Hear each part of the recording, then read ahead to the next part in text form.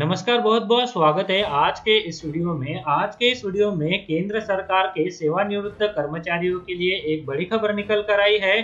तो उसी के बारे में हम इस वीडियो में आपको जानकारी देने वाले तो जी हाँ, हाल ही में 8 दिसंबर 2020 को ministry of personnel public grievances pension department of personnel and training द्वारा एक ऑफ़िस मेमोरेंडम जारी किया गया है, जिसमें कहा गया है filling up of the post of joint advisor deputy advisor in TRAI new Delhi on deputation of foreign service term तो जी दोस्तों, केंद्र सरकार की जो सेवानिवृत्त कर्मचारी है तो उन कर्मचारियों में से ट्राई में जो नियुक्ति है तो वो किए जाने वाली है। तो यह रिटायरमेंट के बाद भी ये जो नियुक्ति है वो होने वाली है। किन कर्मचारियों को इसका लाभ हो सकता है? इस ऑफ़िस मेमोरेंडम में क्या कहा गया है? साथ में ट्राई द्वारा ये जो अधिसूचना जारी की गई है तो इस अधिसूचना में कौन कौन से पदों का ज़िक्र किया गया है? तो इसके बारे में आप सभी को पूरी जानकारी देने वाले तो आप इस वीडियो के साथ अंत तक बने रहिए ताकि ये जो अपडेट है तो इसकी पूरी जानकारी आप सभी को मिल सके। और इसी तरह के अपडेट जानने के लिए अगर आपने चैनल को अभी तक सब्सक्राइब नहीं किया है तो वीडियो के नीचे जो रेड कलर का बटन है, उसे प्रेस करके आप चैनल को अभी सब्सक्राइब करके रख लीजिए, ताकि भविष्य में जो भी अपडेट आए तो उसका नोटिफिकेशन आपको सबसे पहले मिल सके। तो चलिए दोस्तों, केंद्र सरकार के रिटायर्ड कर्मचारियों के लिए ये जो बड़ी खुशखबरी निकल कर आई है तो उसी के बारे में हम इस वीडियो में जानकारी लेने वाले हैं। तो जैसा कि आप स्क्रीन पर देख पा रहे हैं कि अपडेट में बताया गया है, केंद्रीय कर्मचारियों को सौगात रिटायरमेंट के बाद भी मिलता रहेगा फ़ायदा। जानिए क्या है योजना। तो जी हाँ दोस्तों केंद्र सरकार के सेवानिवृत्त कर्मचारियों के लिए एक काम की खबर है। भले ही नौकरी पूरी हो गई हो, लेकिन अभी भी सरकार उन्हें काम करने का एक और मौका दे रही है। इस संबंध में ताज़ा खबर यह है कि अब सरकार अपने रिटायर्ड कर्मचारियों को कॉन्ट्रैक्ट बेसी यानी अनुबंध पर नौकरी देगी।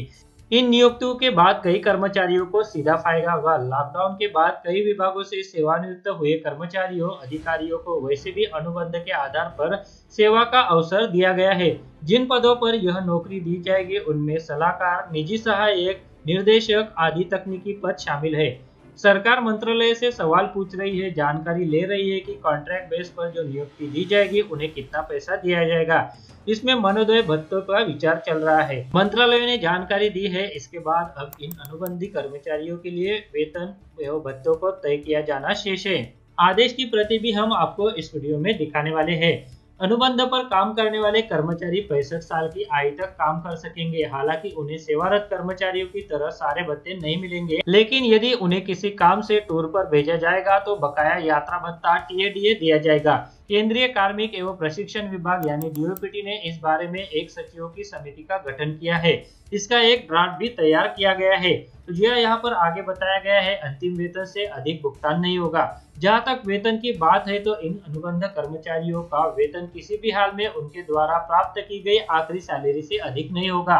यह बात गौर करने योग्य है कि इसमें उनकी पेंशन नया वेतन दोनों को शामिल किया गया है। इन कर्मचारियों को मासिक वेतन का भुगतान किया जाएगा। इन्हें इंक्रीमेंट का लाभ नहीं दिया जाएगा।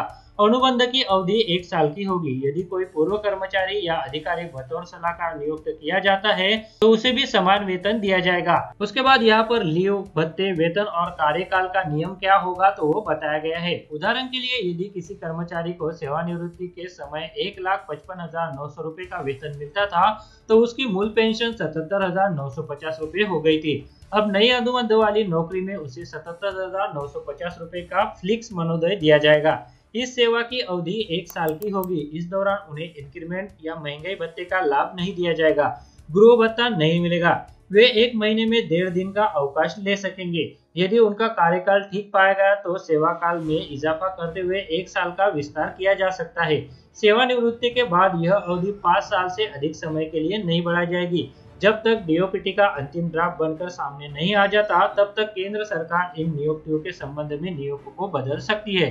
तो जी हाँ दोस्तों, केंद्र सरकार द्वारा ये जो सेवानिवृत्त कर्मचारियों के लिए बड़ी खबर दी गई है तो उसी के बारे में हम यहाँ पर जानकारी ले रहे हैं। तो जैसा कि आप स्क्रीन पर देख पा रहे हैं कि ये जो ऑफ़िस मेमोरेंडम है, वो ministry of personnel public grievances pension department of personnel and training द्वारा 8 दिसंबर 2020 को जारी किया गया जिसमें कहा गया है engagement of consultant in the ministry of corporate affairs regarding तो जय दोस्तों, यहाँ पर ये जो ऑफ़िस मेमोरेंडम है, वो जारी किया गया है, जिसमें कहा गया है the under sign is directed to circulate the vacancy circular number A one two zero three four slash zero one slash two zero two zero A D D one dated twenty six of November two thousand twenty received from ministry of corporate affair who have initiate application from retired central government servant for engagement as consultant on contract basis initially for a period of one year from the date of engagement.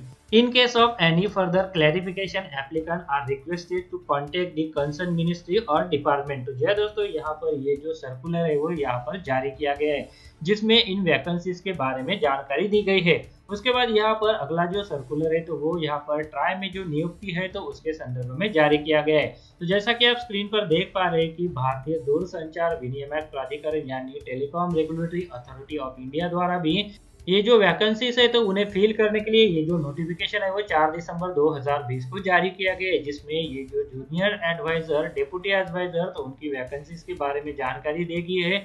उसके बाद space cell के बारे में जानकारी दी गई है eligibility criteria के बारे में जानकारी दी गई है, और इसेंशियल क्वालिफिकेशन क्या होना चाहिए तो उसके बारे में भी जानकारी दी गई है। आवेदक के लिए जो एप्लीकेशन का फॉर्मेट है तो वो भी यहाँ पर दिया हुआ है तो इसका लिंक आपको वीडियो के डिस्क्रिप्शन में मिल जाएगा। उस लिंक पर क्लिक करके आप ये जो आवेदन की कॉपी है साथ में ये जो पूरा का पूरा ऑफ़िस मेमोरेंडम यहाँ पर जारी किया गया है तो उसे जो है वो आप आसानी से पढ़ सकेंगे। तो जी हाँ, आज के इस वीडियो में ये जो बड़ा अपडेट निकल कर आया था तो उसी अपडेट के बारे में अभी मैंने आपको इस वीडियो में जानकारी दी। वीडियो में दी गई जानकारी अगर आपको अच्छी लगी तो इस वीडियो को लाइक ज़रूर कीजिएगा। और अगर आपने चैनल को अभी तक सब्सक्राइब नहीं किया है तो वीडियो के नीचे जो रेड कलर का बटन है तो उसे प्रेस करके आप चैनल को सब्सक्राइब करके रख लीजिए, ताकि भविष्य में जो भी अपडेट आए तो उसका नोटिफिकेशन आपको सबसे पहले मिल सके। और इसी तरह के अपडेट जानने के लिए आप जैसे ही चैनल के साथ बने रहिए, ताकि भविष्य में जो भी अपडेट आए तो उसके बारे में आपको पता चल सके। तो चलिए, आज के इस वीडियो में बस इतना ही। आगे भी ऐसे ही अपडेट मैं आपके लिए लेते रहता रहूँगा। इसके लिए आप चैनल के साथ बने रहिए। चैनल को सब्सक्राइब करके रख लीजिए और इस वीडियो को आप लाइक ज़रूर कीजिएगा ताकि ये वीडियो ज़्यादा से ज़्यादा कर्मचारियों तक पहुँच सके।